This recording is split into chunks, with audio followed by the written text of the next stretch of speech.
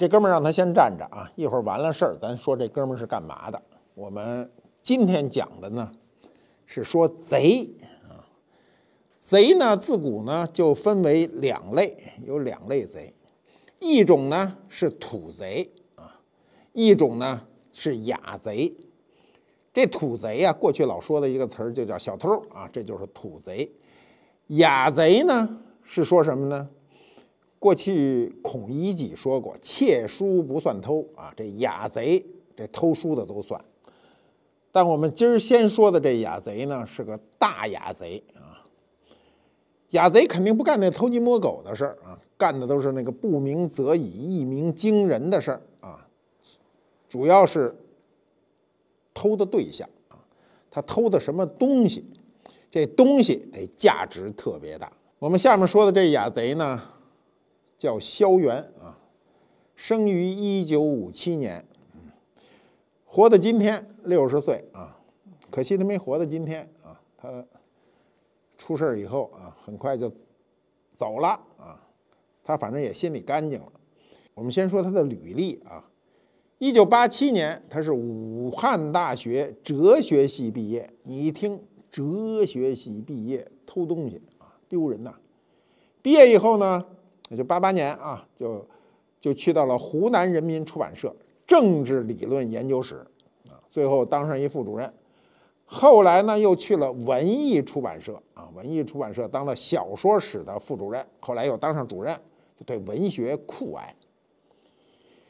可是他去搞文学这会儿，正好是哎八十年代末九十年代初，正赶上文学开始走下坡的时候。我就是那时候离开的出版社。我离开出版社，还就有人去了，这叫飞蛾扑火啊，得有这精神。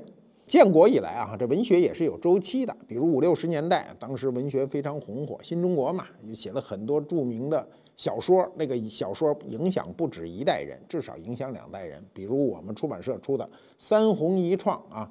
红颜红日红旗谱创业史，七十年代末八十年代初改革开放，这时候文学一下就蓬勃发展。这十年啊，从七七十年代末期到八十年代末期，这十年呢是文学大发展的时期。今天中国基本上著名的作家都是那个时期出来的，我就是在那个时期去当编辑的。那么到了八十年代末啊，影视开始。抬头啊，商业开始抬头，这文学呢就开始逐渐逐渐的衰落，就正好是这个时期，这萧元呢就开始进入了文学界。那进入了文学界呢，那时候王朔啊，九十年代初的时候正火着呢，这个萧元就出书呢，就把这个捎带着把北京人都骂了，他叫丑陋的北京人啊，一破折号，王朔在批判。啊，直接盯着王朔就去了啊！萧元这么一说，丑陋的北京人呢，我就算北京人了，所以我只好告诉你，这萧元是湖南人啊。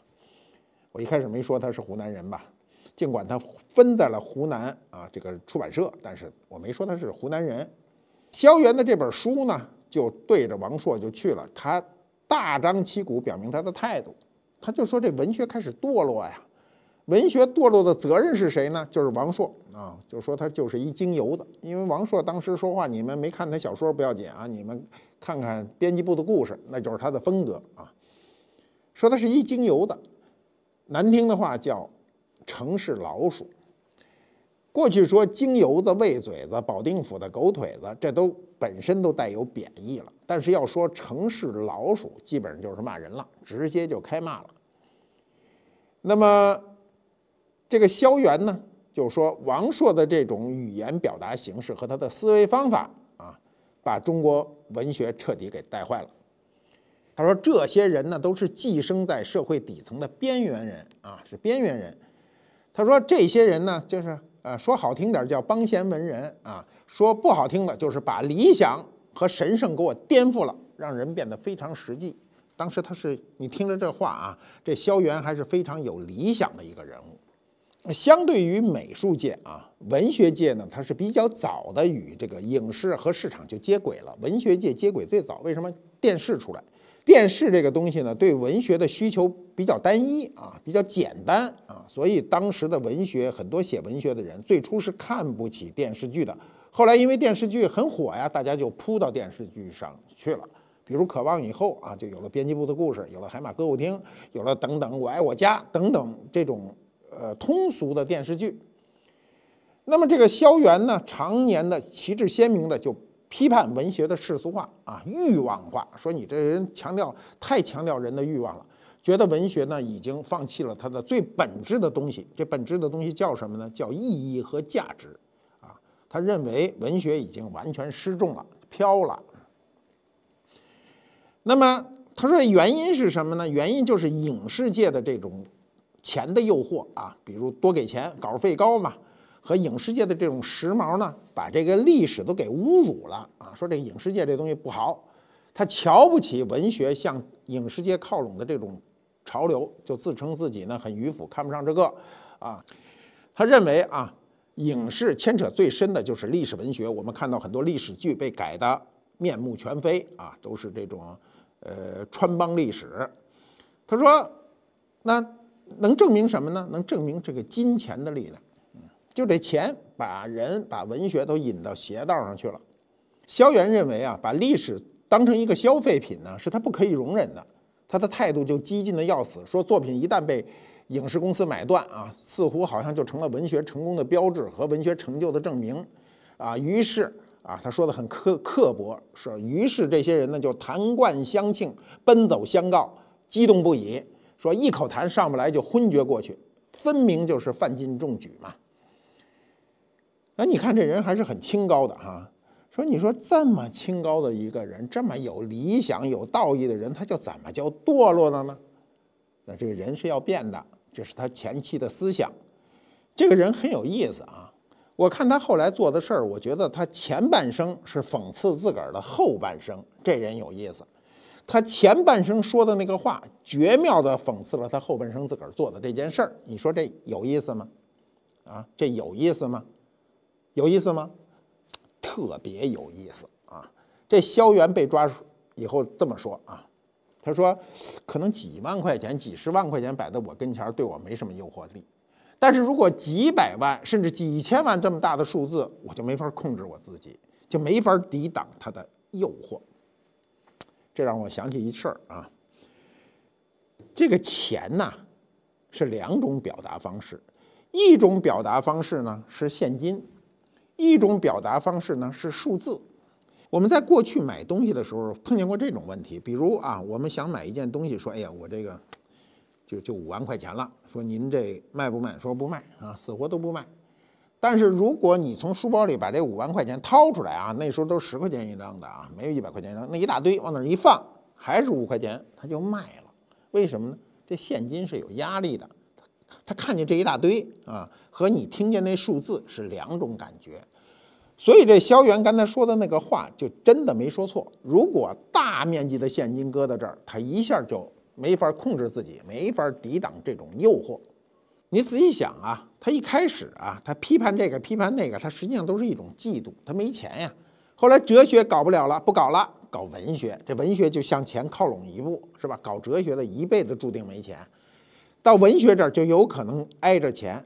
后来这文学不搞了，那搞美术啊！你知道，一搞美术离钱就更近了。他就二零零三年就调到了广州美术学院的图书馆做了馆长，他有点学术成就啊。根据他自己的供述啊，他偷盗行为就偷盗这些画啊，是起于二零零四年三月。就换句话说。他进到了广州美术学院图书馆以后啊，一年时间之内把这情况都摸清楚，他就开始动手了。萧元说啊，他自个儿的这个偷盗行为呢，是二零零四年三月就开始了，止于二零零六年。他那意思，他就偷两年啊。抓住时候是什么？二零一四年啊，他偷了整整十年。那么他偷盗的这些画都去了哪儿了呢？啊，他大部分都去了拍卖行。也没有人告发，也没有案发，没人知道。后来去拍卖行，每一件都去查，非常的就是困难啊。那么萧元都偷了什么呢？他主要就是偷画，因为广州美术学院的图书馆里有大量的收藏的画。过去啊，这个教学的地方，就是美院、图书馆都有收藏。中国不是光博物馆有收藏，图书馆、这个美术学院都有收藏，每个高等学校都有收藏。尤其美术学院，因为美术学院他当时买这些东西啊，那时候没钱啊，很便宜，就是为了呃教学得有教材呀。他偷的有什么呢？有潘天寿啊啊，潘天寿的英雄独立。八大山人大家都很明白啊，八大山人什么成就啊？湖山双鸟图啊，按照萧元自己说哈，这幅画是赝品啊，不是真迹啊，还偷了很多什么齐白石、张大千，前前后后偷了一百多张。你说他怎么偷啊？人说这幅画没那么容易偷啊，哎，他就有办法。这图书馆得放假呀，你知道咱这图书馆多奇怪，这图书馆学校的图书馆一到周末啊，周六周日都放假。一放假呢，这萧元就用自个儿的钥匙直接就进了画库了，选择字画带回家。他据他自个儿说，他能临摹，但是这个法院并没有去核实啊。我认为他不能临摹，他是找人你给我临摹一张，临摹完了以后呢，把假画放回原处，把真画就留下了。他前前后后弄了一百四十多幅，一百四十多幅很多啊，你要是算起来，就是每个星期偷一幅。熟悉他的人就说啊，这个萧元最喜欢的就是张大千啊，说他是喜欢张大千，说他自个儿也能临摹啊。这个他能不能临摹，我们不清楚啊。我想一个画家想临摹很多人的画是很难的，除非你有非凡的能力。你可以找人啊，这个画家很容易找到。你说临画对于画家来说呢，不是很难的一件事儿啊，临摹一张画。那么这萧元就自个儿说说给自个儿摘啊，就是说他当馆长之前呢，之后啊。这个类似调包的行为从未停止过，什么意思呢？他说，不是他调包，他前面那馆长就调包，后面还有人调包。那么侦查员拿这个画给他看呢，他发现，他说我自个儿的那个画又被别人给调包了啊，这都不是真的假的，你闹不清楚。那么为什么出现这么大的问题呢？它是个制度问题啊，制度混乱。首先是我们这些啊。准博物馆单位就是不是博物馆的单位呢？它都没有档案，档案都混乱啊！过去我看过一些这些文物单位的档案，就是拿一个破笔记本，就拿钢笔记着，任意涂抹，也没有照片，东西丢了说不清楚。比如说王石谷山水大轴，什么叫山水大轴啊？就是一张大画，有多大，连个尺寸都不标上去，那你怎么去？出了问题你怎么去核对呀？按理说，这些机构都应该有公开的档案，就是我有多少收藏品，在网络网上都可以查到。比如广州美术学院有多少，那上面你随便一一搜，全能看到。你如果能看到，他就很难很难去偷，对吧？第二呢是制度问题，制度问题我们都知道啊，现在基本上都是人质啊。虽然说进去要有三把钥匙，但架不住三把钥匙都是他一个人拿着。我们现在啊。这个好的库房至少要两个人同时进，最好的库房呢是两个人得在拉开够不着的距离里同时开锁。一个人你拿着两把钥匙，你够不着啊！你臂臂展你不够这个长度，你打不开。比如这两个锁眼之间间隔三米，那你现在臂展再再大的啊，你像这个姚明，我估计臂展就两米多，他插不进去，他不可能同时拧开，所以。把钥匙插进去，两个人喊一二三，吧嗒就开开了。你想开开一个再去开一个是开不开的。现在这是比较现代化的设备，过去没有啊，过去就是三把锁。我记得那个这个这个门上咣咣咣三把锁，几个人到那叭叭叭，一人拿一个开开。那如果你自个儿这个呃拿三个钥匙呢，无非就是开的慢一点就开开了。其实我们国内制图都差不多，关键就在于执行。那你这个东西完了以后去哪儿了呢？他偷完东西都去拍卖行卖了。卖了以后呢，那是因为他怎么案发呢？是因为上面有的有章啊，有章，这个章呢上面写着广州美术学院图书馆。那一看说这图书馆东西怎么会在拍卖会上卖啊？这才出了问题。偷到的东西啊，我们说一个途径啊，这个东西为什么现在找不回来？是因为已经被卖掉了，卖到谁手里呢？有的是知道，有的还不知道。谁买走的可能转手多少次？因为公开的是拍卖，私下的是买卖，所以有时候转几次手就找不着了。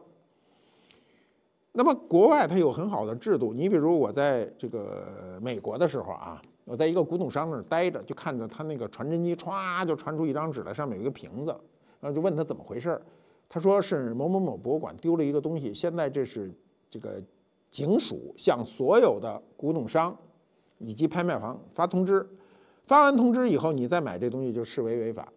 那我说如果没看到这个这件东西呢？他说没看见东西是你的事儿啊，你没看到就跟法律似的，你不知法条你也不能犯罪。国外的这些专业部门呢，相对来说都比较注意这个事儿啊。你比如说你上面写着广州美术学院图书馆盖着章，我一检查这画，这画我就不敢卖，我马上就要找广州这个美术学院去核实去。哎，我们这些拍卖行就是为了赚钱，不合适这些事儿。那么。这个在国外啊，艺术品丢失以后，如果你拍卖行再卖了，那你肯定要承担这个责任。我们现在是这样哈，我去拍卖行去买这些东西，我是不知道，所以你没有问题。只要你是在拍卖行正常的举牌、正常的交费、正常的这个这个这个取走，你都没有问题。那拍卖行有问题，拍卖行。是使这件东西由非法转为合法的时候完成的这个环节，谁完成这个环节，谁承担责任。这个最最轻的责任就是你把钱损失了，比如这张画卖一百万，那你那拍卖行就得赔一百万。萧元啊，这个画一共卖了多少钱呢？有按卡查的三千多万啊，就是他在各个拍卖行能查出来的，他卖了三千多万。剩下那些画一评估好几千万，其中有一张八大山人的画，估价就几千万。我们知道啊，现在的这些画，尤其这些名画，价钱呢一天一个价钱啊。呃，过去说一张画上百万都不得了的事儿，现在一张画上千万都是很平常啊，上亿也不是什么碰不见的事儿。这样重要的一批画啊，一百四十多幅啊，最早的可能都是明代的，嗯，八大山人啊，呃，清代的郑板桥，还有张大千、齐白石这种最大名头啊。这一百四十多张画，今天的损失那肯定上亿啊，上亿上几个亿都是可能的。万幸啊，就是抓着他的时候手头还有几张不错的画啊，保留下来了。那现在广州美术学院图书馆呢就很沮丧嘛，沮丧呢就发新闻，就说希望呢所有买到画的人或者谁拥有这这种画的人呢释放出极大的善意，啥意思啊？就是让你能不能捐喽啊？捐回来，说我们这个损失惨重，现在要是要不回来了，追也是追不回来了，啊，这个你们甭管这谁拿到这画您能不能高风亮节啊，给我们捐回来？你们觉得这事儿有多的可能呢？没多的可能，因为这些人跟你之间没有必然的关系，除非将来啊，你们美术学院培养的学生里出了一个世界级的富翁，不在乎钱，选榜。说凡是这个名单里的画啊，我不惜代价买回来捐给我的母校啊！你要能撞上这么一富豪，我估计这事儿可能；你撞不上，这些绘画有可能终身回不来了。那你们就要付出这个代价，就要承担这个错误。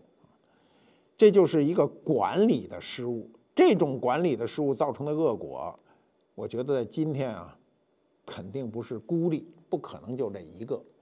我们这些啊艺术院校本身就不擅长管理啊，它不像博物馆，博物馆有严格的制度，但是博物馆也会出事儿，相对来说要比这种准博物馆呢要好一些。我们刚才讲的呢，这是个雅贼，那我们碰见这土贼呢？土贼，我告诉你啊，这些年土贼越来越少，为什么越来越少呢？是因为防盗手段越来越高，土贼都不成了。你想，过去有一个说起来是一个陈年旧案，这案子过去都三十年了啊。是当时呢，有一个人，这人叫王庚棣啊。这王庚棣就陕西人，他在临潼火车站吃饭的时候呢，几个人就说：“哎呦，那时候你想，三十年前都穷啊，都说用什么办法挣点钱呢？”说贩卖文物。那时候的文物哈，都肯定流向海外，国内没有人买。八十年代，你放心，那所有的文物都是想尽一切办法弄到国外去卖。那么他说，那那弄什么呢？说咱这陕西啊，靠山吃山，靠水吃水，咱靠着陕西，咱就嗯，弄这兵马俑。兵马俑，你知道那兵马俑个儿大，你知道吗？个儿大，那怎么弄啊？一个兵马俑都跟真人大小似的，你弄一马跟真马大小似的，你怎么给它运走？很难。那怎么办呢？就专门找那值钱的，一下就盯住了那个。秦俑的一个头将军头，啊，得找那将军头，士兵头不值钱。然后他听说以后呢，他们就准备盗窃，这一下就攒了一波人。这一波人呢，就是趁着风高月黑之夜哈，其实带着作案工具。那作案工具说起来很丢人，谁家里都有螺丝刀一把，直接就翻到了秦陵博物馆院内，窜入考考古队啊。那考古队过去说溜门撬锁。你知道过去那锁比现在这锁好撬啊！现在都是锁都做的比较结实，过去那锁就是一扣掉，上面挂一挂锁，拿着改锥冲插进去一别就下来。所以这帮人就进去呢，找到了秦最高等级的这个将军俑将军头啊，弄了一个，这一个没多大嘛，就这么大，一抱跑出来了。你知道这东西啊，国家一级文物，一级甲等。我们一级文物里分甲乙丙啊，还分三等呢。拿出来以后藏哪儿了呢？藏在临潼火车站旁边的一树林里，往那一藏，稍微拿草盖一盖，你就看不见了。当天晚上呢，这王耕地呢又又想说，这我这把这将军头费劲巴拉的弄出来了，我搁在那草棵子里，万一巧了被人给弄走了，我这不是瞎了吗？又去转移，把这东西抱着，又找了一仓库，一空房子，搁到里头。搁那个空房子里呢，没人看着呢，也还是嘀咕，心里嘀咕啊，这东西啊，一旦成为自个儿的了，就开始珍重，又转移到另外一个犯罪嫌疑人的这个宿舍里藏着，开始找人卖。你知道那时候啊，他没那么好卖，为什么？第一，你信息不能公开啊，也没有网络，它不像你现在有网络，网络你也不能公开，你在网上上网说我偷一将军头，哎，我现在要卖，那警察先来了，对吧？所以呢，卖了好几个月啊。然后呢，就到处找人，到处找人，因为那时候呢，已经开始有那种复制品。因为这个秦兵马俑的这种灰陶并不难烧制啊。你现在这个丰有丰富经验的人，你新烧的和旧的一眼就看出来。但是没有经验的人呢，一看都差不多，不都是一灰陶吗？当时文物复制做的很多，靠那个赚取外汇呢。所以当时他们很多人呢，就要对这个东西辨识到底真的假的，谁知道你真的假的？因为人家不知道你是偷出来的，所以他们就开始就想这东西到底卖多少钱啊？一开始就说，哎，先卖五万块就行了。后来又开始找人来回折腾来折腾去，就一家一家的找，时间越来越长啊。这就夏天就到了，就这东西就由五万块最后卖到三十万。这卖到三十万呢，就是因为这个他们在买卖当中啊，这消息一定走漏出去。公安机关就截获了这个消息，其实有没有三十万都另说，就是拿这钱跟他诱惑他，最后使他们全部出这个出动嘛，一出动把人赃俱获，一下人给逮着了。你知道啊，刚才说的那个萧元啊，他的罪名可不叫盗窃，你别看他盗窃了一百四十多幅这个国家的绘画，他的名字罪名叫贪污，因为那东西是公家的。你是公家的人，利用职务之便，没有溜门撬锁，方法不同，所以你叫贪污。但这几个贼可叫盗窃，他就是个土贼嘛，所以他叫盗窃。盗窃和贪污这个罪名不一样。这个西安这个中级人民法院就开始以盗窃罪就判处这王耕地死刑啊，其他的一共同案大概有六个人啊，有判两年到无期不等的，剩下每个人都判了。那判他死刑，你知道啊？我们今天啊，偷这文物啊，没有死罪了，原来都有死罪。走私文物啊，有死罪；盗掘这个古墓，所谓的盗墓有死罪；盗窃重大文物啊，珍贵文物有死罪。但是二零一一年，全国人大。表决通过了这刑法修正案，就把这些罪名中的死罪全取消了。就是换句话说，今天那王耕地能保命，死不了，最多就是一无期。我们啊有很多电影啊，都特别爱渲染这个博物馆的盗窃啊。过去看过的电影有什么呀？周润发、张国荣演的那个叫什么呀？纵横四海是吧？把这个油画都盗走了。行了。好莱坞的大片叫什么呀？叫偷天陷阱啊！这些电影呢，它极力渲染就是怎么去偷博物馆。我们过去讲过啊，嘟嘟在过去讲过这个偷博物馆的事儿啊。那么今天的博物馆啊，跟过去博物馆一样，博物馆自打有那天起，防盗是第一大问题。我怎么能让你不偷了？过去的防盗都比较简单，就是加强防盗措施，比如说安一铁窗，锁弄结实点儿啊，就是无非就是这样。后来出有了触发性的啊，比如触发性的铃啊，你一碰啊，铃声大作，其实那铃声不是报警的，是吓唬贼的，把贼吓唬走就可以了。那么这个博物馆的盗窃呢，它其实是两类，一类呢是外盗，就是外面的人进来了；一类是内盗。过去博物馆一发生案子，一定是外盗。外盗呢也有两种，一种就是破门破窗，找你的漏洞侵入你的博物馆；另一类呢是想办法潜伏在博物馆里不出去啊。前几年故宫的那个盗宝案就是这样，那人没出去嘛，在里头。过去啊，大概是在二十多年前，南方有一有一路贼啊，偷了一路，就是在博物馆里临。关门前进去参观，参观的时候进去七八个人，然后其中有一个人呢，在一个不引人注意的地方，比如厕所或什么地方待着。然后这些人走了以后呢，这人在里头偷一宿，把东西都准备好了。第二天一开门，这帮人哗啦又进来迎迎他啊迎他，因为你的博物馆一进来这么多人，你进来六个人出去七个人根本看不出来，就这么去偷啊。这种事儿呢发生过很多起案子，后来就对这事儿很警觉。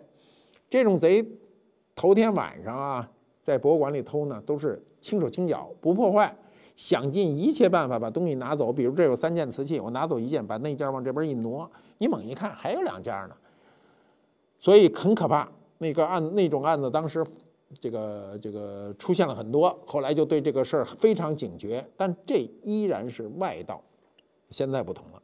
这些年啊，所有的博物馆发生问题都是内盗，自己人。因为自己人知道漏洞在哪儿。那么，随着我们今天的科学技术啊，包括这个网络技术，包括视频技术啊，这个再加上其他非电脑型的控制呢，今天的这个博物馆的盗窃案呢，就以我知道这些年啊，几乎没有，就是这种没有被发掘的盗窃案。那么，要不然就是国外出现的那种以速度跟你拼速度啊。就是在你到达之前，他已经拿着东西跑了，就是那种半明抢的状态，啊，从理论上讲，现在的这种防盗的这个办法是破解不了的。你知道，你看吧，这个电影上啊，电影那盗贼都是拿个眼镜一看，然后各种红线，嚓嚓嚓全照着，对吧？现在没那东西，你触动那个红线不就报警吗？现在不是这么个状态了，原理完全变了。当年啊。洛阳博物馆丢的那一批官窑，从故宫博物院借去那官窑，就是那大盗就发现这红外的弱点了。红外线的报警的弱点是什么？他怕红布，红布它不反应，所以他就从房梁上爬过去，把十二个摄像头拿红布挨个啊，上面搁一块红布，拿个夹子一夹，搁一块红布，拿个夹子一夹，所以都不报警了。偷了一宿，把东西偷得干干净净。今天肯定不行，为什么不行啊？因为今天呢，我告诉你啊，简单的方法，最简单的一层保护叫比对。博物馆的这个监控系统一上监控指令，这个屋子里出现任何一个东西，它都会报警啊。只要在这个摄像范围之内的，不要说这个出现一个人，你多一个手机，比如有一个客人手机落在里头，那手机就会不停的闪烁，因为这个东西是多出来的。所以这种监控技术呢，已经做了，从理论上不能破解，唯一可能破解的呢，就是黑客侵入电脑，改他的程序，嗯，比如他的程序不报警，其实实际上已经出了问题。还有现在最智能化的啊，监狱里经常用智能化的摄像，就是超过一定体量，比如你涉及到四十公斤，我觉得一个成人怎么也得有四十公斤，是吧？四十公斤体量的人东西的。就是有生命的物体，只要移动，它摄像头立刻就跟着你，不停的拍照啊，就肯定就你跑不掉。